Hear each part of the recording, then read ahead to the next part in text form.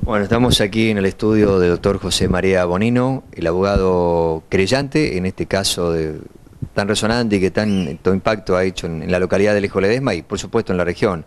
¿no? Bueno, queremos saber, eh, doctor, eh, cómo están los pasos eh, a seguir cuando ya hay una prisión preventiva dictada y, si el caso ya está en, a llevarse a juicio oral, ¿no? ¿cómo, ¿Cómo ve las cosas y contar un poco los hechos, ¿no? Bueno, al día de hoy la causa ya lleva un estado procesal avanzado. Todo el proceso penal tiene tres grandes momentos. El momento es la detención, en este caso, que a veces suele suceder, la imputación de los delitos que se le enrostran a los, a los imputados en este caso, la investigación penal preparatoria, que tiene un paso intermedio, que es el dictado de la prisión preventiva. La prisión preventiva consolida un poco la acusación fiscal, que es el titular de la acción pública, y a partir de ahí de no haber oposiciones o de no haber ningún cambio, el próximo plazo procesal, que estamos en presencia y estamos muy cerca de eso, es el auto por el cual el, fiscal de instrucción dicta el requerimiento de citación a juicio, por el cual va directamente a la Cámara que sea sorteada para, para que se lleve a cabo el juicio oral. Estamos ahora frente a un pedido de prórroga que ha hecho el fiscal para seguir investigando porque tenemos pendiente algunas pruebas genéticas que tienen que ser contestadas y evacuadas. Nosotros como creyentes estamos proponiendo algunas medidas de prueba que consideramos importantes, básicamente testimonios. Y lo que hoy se desprende del expediente es una investigación bastante importante que ha hecho el fiscal de instrucción con todos sus colaboradores, con muchos detectives de Córdoba, delitos complejos, de la, policía de la provincia. Eh, hay una construcción, la construcción que hace en, la auto de prisión preventiva es muy importante, casi sin fisuras, explica absolutamente todos los pasos que da y por qué llega a la conclusión de la existencia del hecho punible, que en este caso es el asesinato de Pasaglia, y también la ubicación de los dos coautores en la escena del crimen. Respecto de esto, a nadie se le escapa que hay una hay mayor colección de pruebas, colecta de pruebas eh, que vinculan, que se indican más a uno de los imputados frente al otro, en este caso Pinque. Eh, no es que esté más comprometido que Díaz, pero hay mucha prueba que refiere que ha dejado más rastros, digamos. Respecto de Díaz, si bien se puede considerar como lo ha hecho su defensa técnica, que no está tan involucrado. Esta querella, en coincidencia con el fiscal, cree que existen varios y bastantes motivos para, para considerarlo también como que es autor. La estrategia de la defensa, creo yo, es, es, bastante, es bastante normal. Está refiriéndose más que nada a la, vulnerabilidad y a ese retraso madurativo que presenta Díaz, eh, acompañando incluso algún certificado otorgado en ese sentido en Venado Tuerto, pero bueno, entiendo su rol de defensor. Lo que pasa que este, yo lo escuchaba al colega diciendo que hay un, hay un inocente preso, ¿no? Eh, pero la realidad es que tenemos a un inocente muerto, asesinado, este, supuestamente por estas dos personas que a quienes se les reprocha este injusto. Entonces, respecto a eso también quiero ser bastante claro y quiero ser contundente. Eh, sí es cierto que el señor Díaz presenta un retraso madurativo, pero eso no le ha impedido defenderse, no le ha impedido tener su defensa técnica, haber declarado como declaró, y sobre todo fue sometido a una pericia interdisciplinaria con un psiquiatra y dos psicólogos que han determinado que es una persona absolutamente imputable, ¿no? Con lo cual, como lo fue imputable también en el año 2011, que hay algún antecedente por otro delito contra la integridad sexual, en la cual también este, la pericia psiquiátrica dio que también era imputable. Con lo cual, este, yo creo que eh, no hay que tenerle lástima, simplemente hay que entender que es una persona que tiene algún tipo de retraso, pero eso no impide que gobierne sus actos, que gobierne sus acciones, que pueda celebrar contratos, que pueda trabajar, que pueda hacer todo y que incluso pueda matar. Entonces en esto tenemos que ser claros, tenemos que ser contundentes y bueno, en definitiva esta querella va a ir acompañando eh, toda la causa y la instrucción que tengo, al menos de mi representada, que es la madre del imputado, es este, llegar a juicio y ser y tratar que se los condene con la mayor severidad posible, que en este caso no queda otra alternativa por la forma en que se ha calificado el delito, que es la, prisión perpetua. Eh, doctor, eh, bueno, hay, muchas preguntas desde el comienzo. Eh, cuando es la mañana de aquel miércoles 4 de julio, ¿no? los hechos, cómo fueron sucediendo para que usted llegue a esta conclusión de que fueron dos personas las que hicieron el hecho cuando está comprobado que Díaz no estaba en el lugar a una hora determinada, que fue llamado a través del teléfono por Pinque, que hubo un hombre, un vecino, que fue hasta el lugar para que le sacaran el auto que estaba mal estacionado. Eh, ¿cómo, ¿Cómo va sucediendo para que tanto el fiscal como usted ahora corrobore esto? Bueno, hay cierto secreto que debo guardar, pero voy a tratar de ser lo más claro posible. Lo que hay que destacar primero es que Humberto Pasaglia era una persona absolutamente previsible en sus movimientos. ¿no? Eh, tenía su rutina toda hecha, 7.40 se despertaba muy temprano, llevaba a su hijo a la escuela, después se iba a, la OIL del cruce a tomar un café con sus amigos, no los voy a nombrar, eh, de eso le llevaba aproximadamente una hora, hora y media, justo ese día a las nueve y media de la mañana hay una persona que lo ve volviendo del cruce, y lo que todos sabemos es que la última vez que se lo ve, y que se lo ve con vida, es ingresando en el, local que era de su propiedad, que estaba alquilado al señor Pink. ¿no? Hasta ahí todos sabemos, sabemos que deja su auto blanco estacionado. El hecho que haya sido estacionado justo en la bajada de otro vecino que vive enfrente, demuestra a las claras que su visita iba a ser absolutamente corta. ¿No? Es decir, yo creo que esto es un indicio más que suficiente, que nadie le va a dejar el auto a uno. Si bien sabía que había otra salida que de hecho usó este señor para salir, eh, esa, esa visita se prometía como corta. Nunca nadie más vio salir a Humberto Pasaglia del negocio alquilado del señor Pink. Hay, una llamada telefónica de un amigo. Hay una llamada telefónica que nos ubica que a eso de las 10, 17, 10 y 20 de la mañana, uno de los amigos se comunica, y no solo que se comunica, sino que mientras estaba hablando, mientras estaba hablando el Puma, eh, se escucha que había otras voces u otras personas, con lo cual ya sabemos que estaba, él incluso refiere que estaba dentro del local y que estaba con con el señor Pinque y con otro señor. Entonces ya ahí sabemos a partir de esa hora lo que ocurre. Después tenemos el reclamo de este vecino para que le corran el auto. Nadie alcanza a ver bien cómo se corre el auto, pero no nos olvidemos que de la escena del crimen están faltando dos elementos que son vitales. El teléfono celular, que nos hubiera permitido ver la ubicación de las celdas y ver si en algún momento se desprendió de, de su dueño o de quién este, que se activó misteriosamente después a partir de las 12.24 de ese día, pero después de ese llamado de este amigo casi no tuvo, no estuvo en funcionamiento.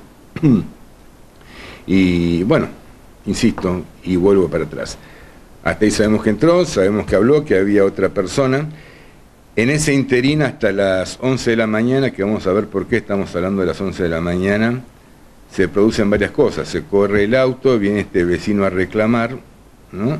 y justo a las 11, a través de ciertas pruebas que hay contundentes en este sentido, se llega a la conclusión que Miguel Díaz llega al local comercial que estaban arreglando. ¿Por qué llegamos, por qué llego a la conclusión y por qué afirmo y abono lo que el fiscal ha concluido? Porque existen esas contradicciones que tratan de desmerecerse o que tratan, no, no desmerecerse, que tratan de justificarse en función de la personalidad de, del encartado Díaz, eh, son eh, muy muy simples de advertir que no hace falta tener o no un retraso mental para caer en tan, eh, en tan poco tiempo en tanta contradicción.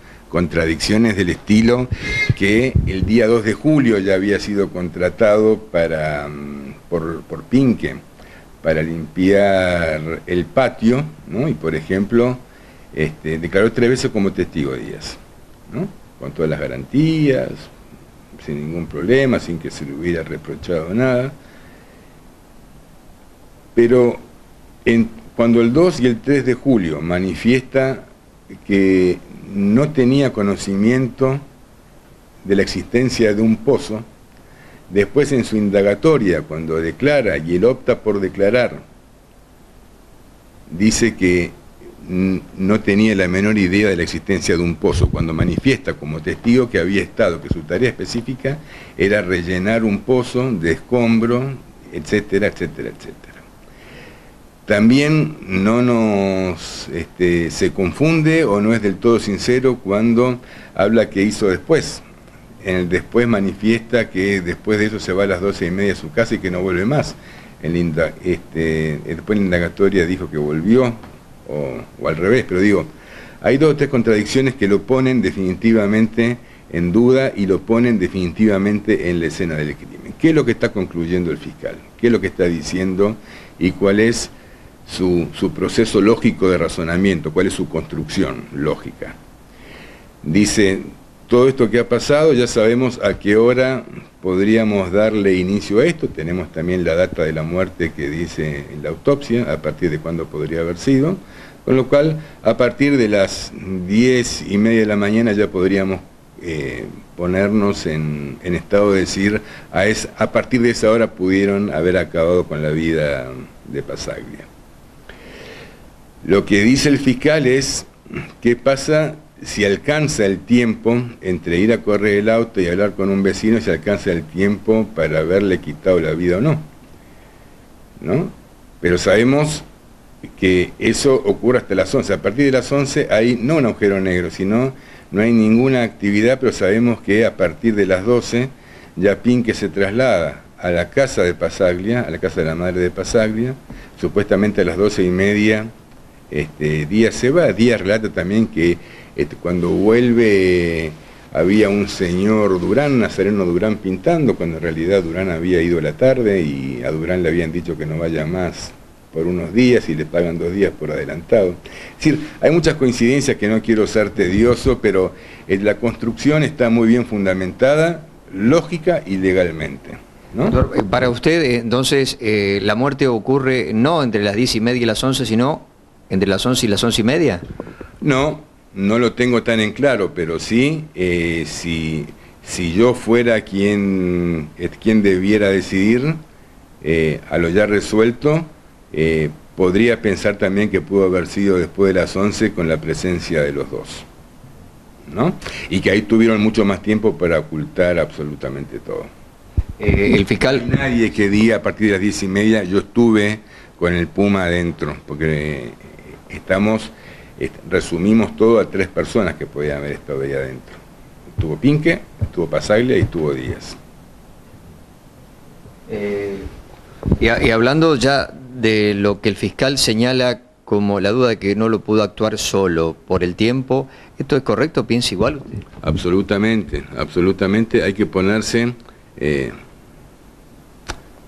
nunca es posible ponerse en la mente de alguien que ha matado, asesinado, pero, pero por ejemplo, el señor Pinque, hay testimonios que relatan que era muy interesado en los temas de la criminología, que veía, consumía muchas películas de ese tipo, es decir, como que nos habla de la, de la posibilidad cierta de haber tenido un plan y que ese plan se concretó y se materializó incluso por las veces que intentó, de las cuatro formas posibles que intentó desviar la, investigación. Pero contestando concretamente la pregunta, este, es muy poco probable que una persona, aparte robusta, eh, haya que ponerla en un pozo, que en un pozo que si ustedes lo han visto, estaba en condiciones que requería también un cierto ocultamiento posterior tirar todos los escombros, tirar, este, tirar tierra, ocultar, había que limpiar el arma homicida, había que esconder algunos efectos personales que después se juntaron y todo con una con un estado de conmoción interno después de haber matado a alguien que supongo que no debe ser tan tan fácil librarse de un cuerpo. Así que eh, yo tengo para mí que es imposible que lo haya sido, que, lo haya hecho una sola persona. Y por otra parte, ¿no? Eh, Díaz, que es el único que declara, si usted lee la declaración, tampoco es que se niega rotundamente, no fui y me enojo porque me están increpando de algo. Simplemente está dando coartadas. Dice no por tal, tal cual cosa, pero no es contundente, no es contundente tampoco cuando refiere su ajenidad a este crimen. Entonces también eso, eso lo agrego yo, no está acá en el expediente. Entonces creo que, este, que resulta poco probable que haya sido. Y también puede haber también un pacto entre ellos. Esto como va perpetua, hagámonos cargo uno solo, y en definitiva, ¿qué sentido tiene que estemos dos involucrados y que ya, con uno que está quizás más prendido por la prueba que otro, pueda decir, este, puede, puede también haber sido un pacto previo.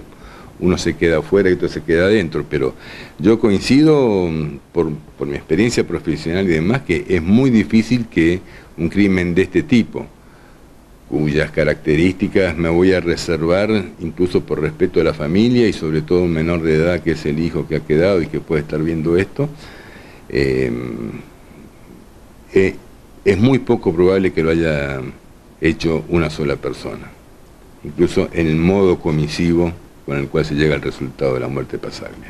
Y hablando de, los términos de alevosía, como eh, está la imputación, hacia la indefensión, ¿no? Del...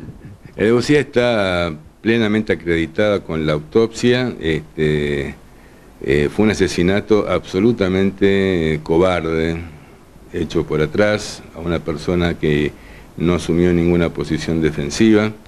Este, se le dio en la cabeza, decir, una cosa muy fea muy fea, muy cruenta. Este, la autopsia refiere muchas heridas ¿eh? en una sola zona, o sea que estamos imaginando que ha sido algo realmente muy feo, muy grave, muy contundente y muy rápido, ¿no? Y muy rápido. Este, de un rápido desenlace, por otra parte. Eh, ¿El arma supuestamente homicida está, en, está secuestrada? Está secuestrada, se ha secuestrado un arma que no es un arma propia, no es un arma de fuego, es un arma es, es un elemento de construcción, una masa más precisamente. Eh, de ahora en más, eh, doctor, eh, se viene la feria, no hubo apelación a la preventiva, pero es un recurso que presentó el defensor. No hubo apelación en sí misma sobre el auto de prisión preventiva. Lo que sí, por el artículo 333 del Código Procesal Penal, eh, todo imputado tiene derecho en cualquier momento, mientras, está, mientras transcurre la investigación penal preparatoria, solicitar o requerir del juez de control que revise la causa por una calificación legal, por una nulidad, por, entender que no, se ha, que, no se valorado bien una prueba. Es decir, se le garantiza, en otras partes se llama juez de garantía, ¿no? Eh, decir que se ha vulnerado el proceso por algún motivo, entonces en este caso, hasta, hasta donde tengo entendido, este, la defensa técnica de Díaz le ha requerido que se lo sobresea y que cese la prisión preventiva, ¿no? Es decir, en vez de hacerlo en el tiempo y plazo previsto para la prisión preventiva, apelarla por ante el fiscal y después pasar al juez de control, directamente omitieron ese paso y fueron directamente al control. Absolutamente válido y es legal. Lo que sí me dio la sensación, por lo que escuché que había dicho el, colega, el defensor, es que no estaría en miras si el juez de control rechaza este control, ir en apelación ante la Cámara.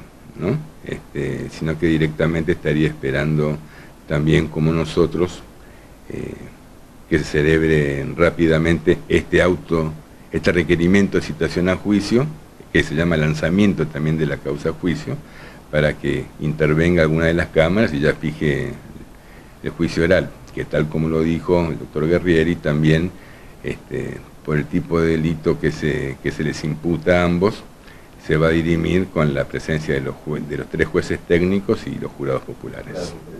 Eh, hasta el momento Pinque no declaró. Pinque no declaró, eh, se actuó a declarar, no nos olvidemos que rige la, presunción de inocencia, es el titular de la acción pública quien debe demostrar los hechos que se le imputan y hasta ahora en esta pieza de casi 100 hojas este, lo ha hecho contra Pinque hay profusa prueba, este, muchísima prueba colectada que los indica como, autor. Obviamente eh, no hay nada, ninguna prueba directa en contra de ninguno que lo hayan visto materializando el acto. De ahí que deba suponerse tanto, pero estos indicios, como la manifiesta el fiscal de instrucción en esta, en esta resolución, son todos este, indicios unívocos, ¿no? Es decir, todos llevan a la misma conclusión y contrastados con otras pruebas le dan, le dan cierta credibilidad para el grado de probabilidad que tienen que tener en un auto de prisión preventiva a medida que va transcurriendo el proceso, tiene que haber cada vez más contundencia en las probabilidades de que los sospechosos sean eh, autores de los delitos por los cuales vienen acusados. Así que, pero nosotros creemos que eh, para el año que viene, sin duda, ya vamos a tener el juicio. ¿no? Y ahí se va a dirimir, en definitiva, este, ahí vamos a ver si realmente Díaz puede probar su... Eh, su ajenidad a este hecho, y Pinque también lo mismo, se les garantiza a los dos el mismo derecho de defenderse y de estar sometidos a proceso. Eh, debido a su, experiencia y sus años de trabajar en esto, ¿qué conclusión podemos sacar? De, no de lo que puede pasar, porque eso, como usted dice, se verá en el juicio, ¿no? Pero hay pruebas que lo incriminan para llegar a, lo que pide el fiscal, que podría ser una prisión perpetua. Sí, eh, es decir, no hacer una corrección, pero digo, el fiscal no pide nada, el ah, fiscal lo único que hace... Por la carátula, ¿no? Así es, por la carátula, por la calificación legal que le atribuye a los hechos, no queda otra que un homicidio calificado por alevosía. No fue así todo el proceso, el proceso comenzó, eh, duró poco, pero la calificación, la primera calificación fue un homicidio simple. Después cuando viene el resultado de la autopsia, y se advierte que había sido atacado por atrás, este, sin posibilidad de defensa y todo, por el modo de comisión ahí se llega a la conclusión que ha sido por alevosía. Y, ahí no queda otro margen para la Cámara porque en ese caso no hay mínimos y máximos. Directamente para este tipo de delito calificado por alevosía no queda otra que la prisión perpetua. ¿Cuántos años es en la Argentina una prisión perpetua? Hasta ahora eh, el único que yo conozco, que no ha salido más el Roberto Plus, pero son 35 años. 35 años, pero eso, este, mm, la verdad, la verdad que no lo tengo tan tan claro, pero ahora hay leyes que ya incluso impiden salidas transitorias, impiden, pero 35 años como mínimo van a purgar. Y pueda ser, y pueda ser que este, algún día se cumpla efectivamente la pena. Eso dependerá también a los 35 años cuando se condena a la gente y las condenas quedan firmes este, y aún no estándolos, la Cámara interviene directamente, se pasan las actuaciones a los juzgados de ejecución penal. Y son los jueces de ejecución penal los que después deciden lo que le corresponden a los reos en sentido de salidas transitorias, libertad condicional y demás. Pero bueno, estamos hablando que este, ya, ya quizá ni siquiera nosotros estemos. ¿no? Eh, la última tiene que ver con algo que escuché y quiero preguntarle sobre si declaran en este momento, piden eh, confesar y se declara uno u otro culpable, si esto puede reducir la pena o, no. No, no puede reducir la pena. Eh, no se advierte que eso, por otra parte, vaya a ocurrir. En este caso, este, aparte, por más que se autoincriminen, y, uno solo se hace cargo. Eso no exime al titular de la acción pública y a la querella dar por probados los hechos. Es decir, eh, no es tan simple, me declaro. Sí sirve a veces en determinados delitos hacer los juicios abreviados, que impide que se incorpora toda la prueba como sale de la fiscalía, se incorpora por lectura directamente se evita el juicio oral, si bien técnicamente se hace, están los jueces, está el defensor, está el fiscal, está el imputado, todo, y ahí dice, hemos llegado a un acuerdo, me declaro culpable absolutamente, reconozco los hechos tal cual como vienen acusados, y a partir de ahí se negocia una pena entre el mínimo y el máximo. En este caso, como la, como la pena es nada más que la perpetua, entonces en definitiva creo que no tiene ningún sentido abreviarlo. Eh, al cometer un crimen, un hecho como este, no sé si habrá visto casos, y le habrá conocido en su carrera, eh, eh, nosotros estamos conmovidos por cómo ocurrió, ¿no? matar a una persona, tratar de ocultar el cuerpo, ¿ha visto casos de, de, estas características? Porque no podemos hablar en ningún momento de emoción violenta acá, de una pelea eh, ¿Ha visto, eh, tiene experiencia en esto? He visto en varios, he intervenido profesionalmente en algunos, de un lado y, del otro de la defensa y la querella. Eh, son crímenes aberrantes y sobre todo son muy duros para los que, cuando se trata de personas tan queridas, ¿no? como el Puma, este, yo ya me siento amigo de él sin haberlo conocido, porque realmente también es conmovedor cómo tanto su familia como sus amigos intentan llegar a la, ayuda profesional de uno porque, porque creen en los valores, en los valores de familia, en los valores de justicia, en los valores de que realmente se haga justicia y que se llegue a una conclusión de esto y que nadie merece una muerte como la que tuvo este muchacho. Este, realmente eh, aberrante. Sería bueno que algún día este, si se confiese más allá de lo jurídico cuáles fueron los motivos, porque también uno, uno quiere saber por qué, ¿no? Este, este, necesita entender. Los capítulos de justicia no cierran historias, simplemente las ponen en un lado de reparación que no se puede conseguir de otro modo, es decir, se hizo justicia, pero todavía uno sigue teniendo interrogantes y sigue teniendo preguntas y misterios por resolver. Eh, este, este, todo esto trae a la familia de los imputados seguramente destrozadas y destruidas, eh, teniendo que ir a ver a sus hijos, parejas o lo que quiera, una cárcel, trasladarse 200 kilómetros para ir, 200 kilómetros para volver, este, crea en la familia de la víctima una madre que supuestamente tenía que morirse antes que su hijo, eh, deja un hijo sin padre, una mujer este, sin la ayuda de ese padre, porque una pareja que no estaba junta, este, y crea sobre todo una conmoción social en los pueblos chicos como puede ser de Ledesma, La Carlota, Arias, Canals, es decir, crea una sensación de que estas cosas no deberían ocurrir, ¿no? que todos somos gente de bien, honesta, que el que necesita pide, el que tiene una discusión trata de canalizarla por otra vía. Entonces, este, por eso acudimos a la justicia como, insisto, como una reparación aunque sea mínima del daño que se ha causado. Doctor, muchas gracias. Muchas gracias a ustedes.